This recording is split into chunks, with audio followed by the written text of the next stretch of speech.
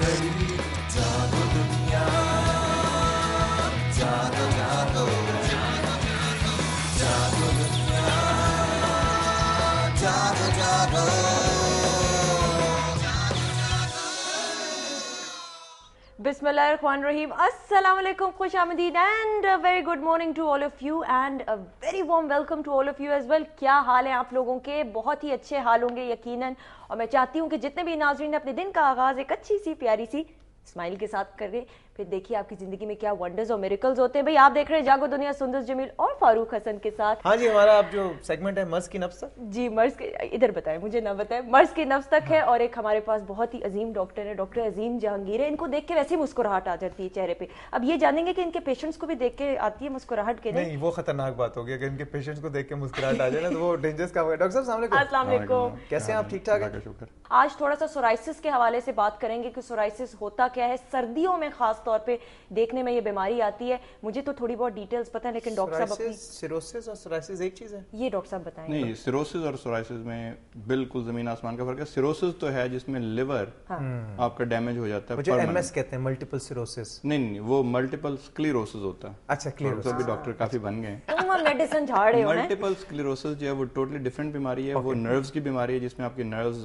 جواب دے جاتی ہیں۔ اوکے جو بے- آ، جو بیسکلی جو سورائسز ہے جی۔ وہ جلد کی بیماری ہے۔ سیروسز جو وہ لیور کی بیماری ہے۔ تو سیروسز تو وہ ہے جن کو ہیپیٹائٹس بی یا سی خدا نہ خواستہ اگر بہت ایڈوانس سٹیجز میں چلے جائے یا الکوہلک لیور سیروسز جو جس میں الکوہل زیادہ پینے سے جو لیور کا فیل ہو جانا تقریباً کہہ لیں وہ سیروسز ہے۔ جو سورائسز ہے وہ جلد کی بیماری ہے۔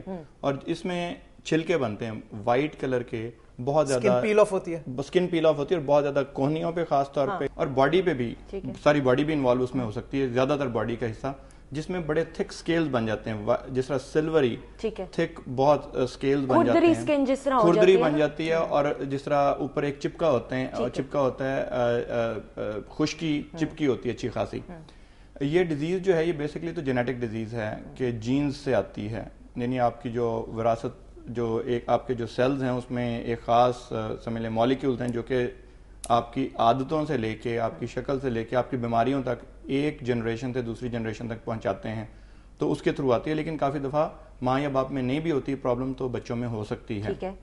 بچپن میں بھی ہوتی ہے جوانی میں بھی بیس سے تیس سال کی عمر میں پھر ساٹھ سال کی عمر میں دو اس کے پیکس عام طور پہ لوگ کہتے ہیں آتے ہیں کہ اس وقت زیادہ ہوتی ہے۔ ٹھیک ہے۔ آ، پاکستان میں اتنی ہی تقریباً ہے جتنی کہ ویسٹ میں ہے ہوتی کیوں ہے ڈاکٹر صاحب؟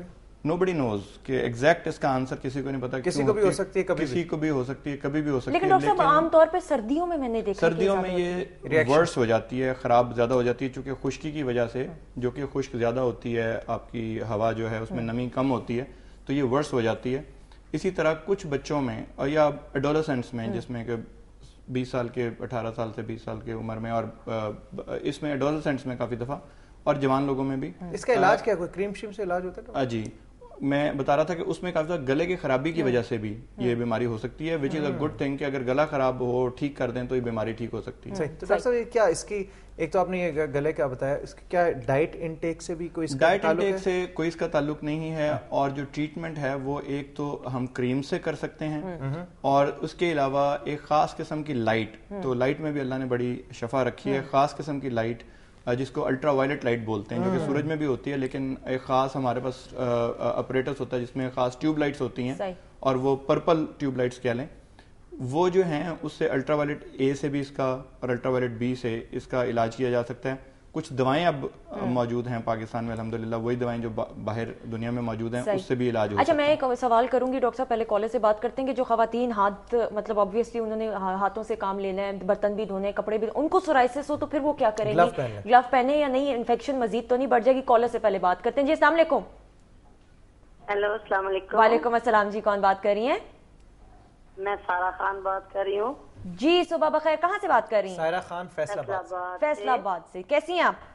ٹھیک ٹھاک آپ کیسی ہیں؟ بالکل ٹھیک اللہ کا شکر۔ جی کیا کہیں گی؟ میرا سوال ڈاکٹر صاحب سے یہ ہے کہ میری بیٹی ہے دس بارہ سال کی۔ ٹھیک ہے۔ اس کے ہاتھ پہ انفیکشن ہو جاتی ہے ہاتھ دھونے سے سردیوں میں۔ تو آپ یہ بتائیں کہ اس کو لیے کون سی ٹریٹمنٹ اچھی رہے گی؟ ٹھیک ہے ڈاکٹر صاحب آپ کچھ پوچھنا چاہیں گے ان سے؟ نہیں جی، ٹھیک ہے thank you G so much for call live جواب سنیے گا جی۔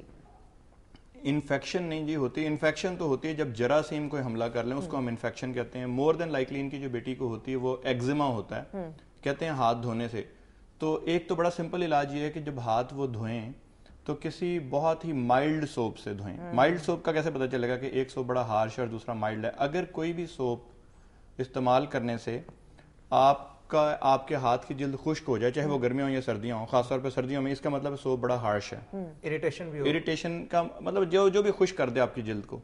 جب بھی خشکی بہت زیادہ جلد کی ہو جاتی ہے وہاں پہ چھوٹی چھوٹی دراڑیں جو کہ مائکروسکوپ سے صرف نظر آ سکتی ہیں وہ جلد میں پڑ جاتی ہیں جس کی وجہ سے پھر حملہ وہاں پہ الرجن بھی الرجی بھی ہو سکتی ہے اور کافی دفعہ آپ کو وہاں پہ انفیکشن بھی ہو سکتی ہے۔ تو سمپل کام تو یہ ہے کہ جب یہ ہاتھ دھوئیں یا برتن بھی دھوئیں کوئی بھی ایسا سوپ جو ان کو سوٹ کرے کہ جس سے ان کی جلد خشک نہ ہو وہ استعمال کریں۔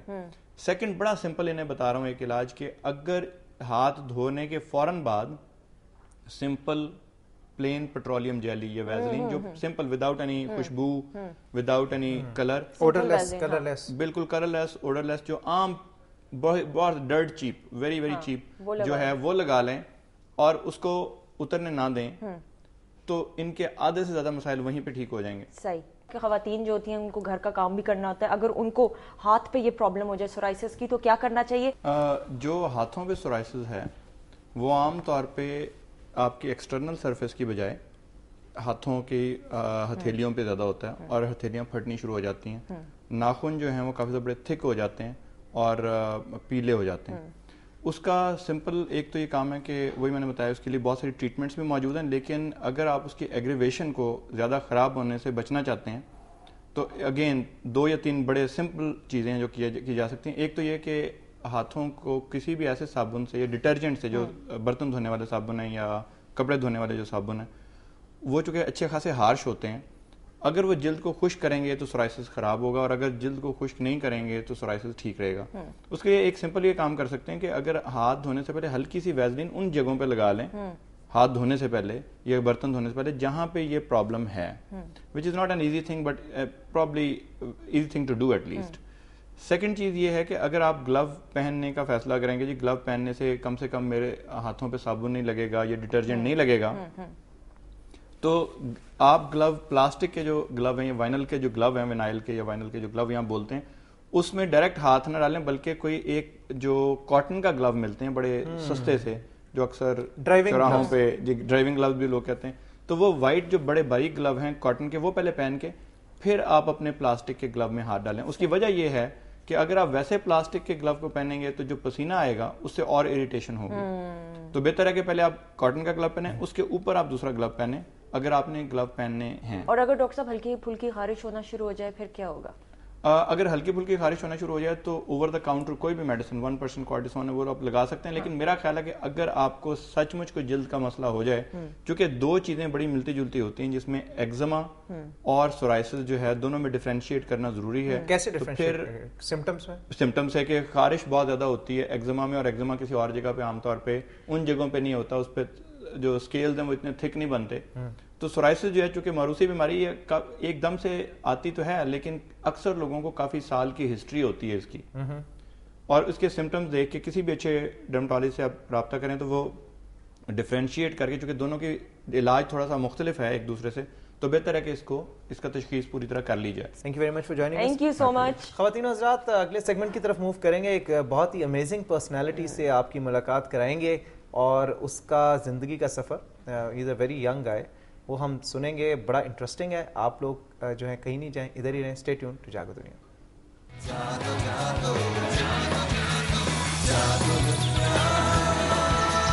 Jago, jago.